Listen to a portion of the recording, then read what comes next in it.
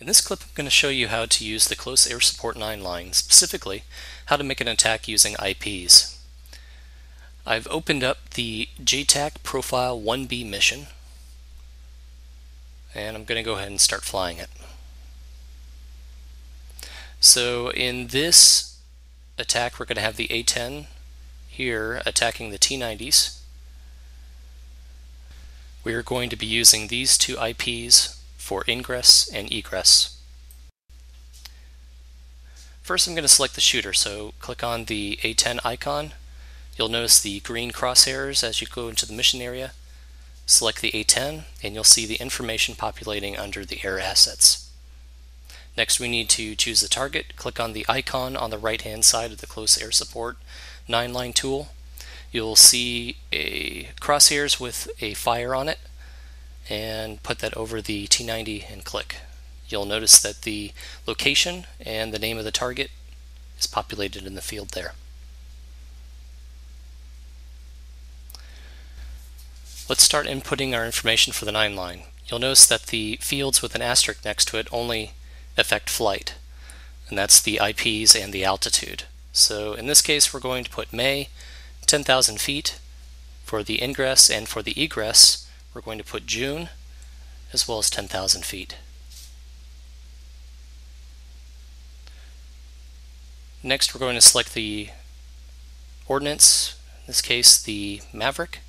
My final heading is going to be 360 and the attack is going to be level.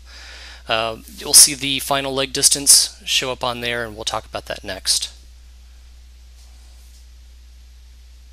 I'm going to select it for 100% just to show an example. Okay, it looks like we have everything ready to go.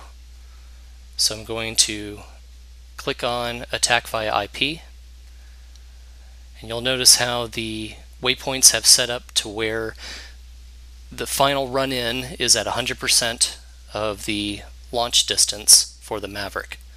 And that seems a little unrealistic because he's going to turn in for his IP and then turn outbound again. So we're going to set that down to 25% of the maximum range for the Maverick.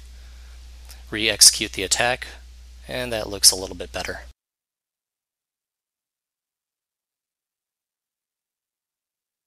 Before he reaches waypoint 2, I'm going to clear him hot.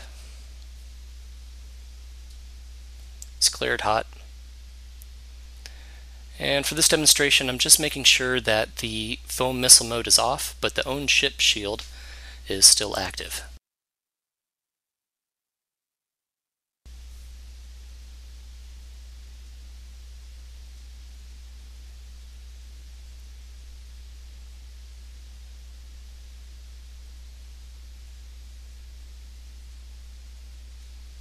At waypoint 3, he's going to be turning on to his final heading, a 360. Fires the Maverick, and the A-10 turns away from the target.